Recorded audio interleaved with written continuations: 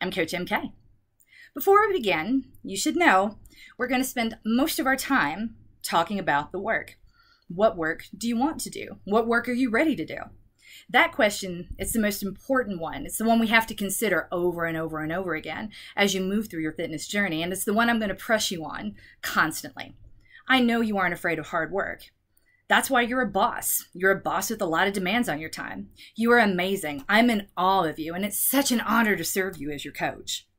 Some months, boss, you're going to have bandwidth and therefore desire to do more work. Other months, you won't. You won't have time to bathe, much less run, and that's okay. It doesn't mean you're backsliding. It means you're being a boss in some other area of your life, and we are rooting for hashtag Team Boss. We don't judge our runners by the runs or the strength that they missed. We will never segregate on the basis of pace. We look at the big picture what work you've been doing recently, and what work you want to do next. That's it. You don't need a do over just because life got in the way. The way we see it, what you're paying for is a plan to follow, a reset button each month, a chance to jump back in and start fresh, as well as a cheer squad each time you show up.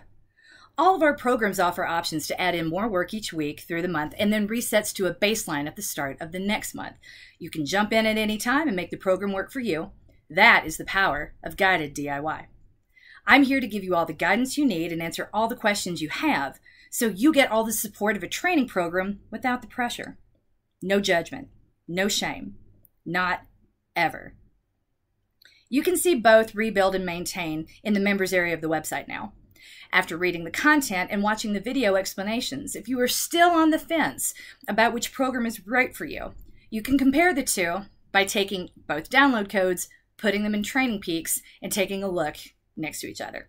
Another option is once you put the codes into Training Peaks, you can print the plans out, or at least the first week, and lay them down next to each other. That's one way to do it. There are many others.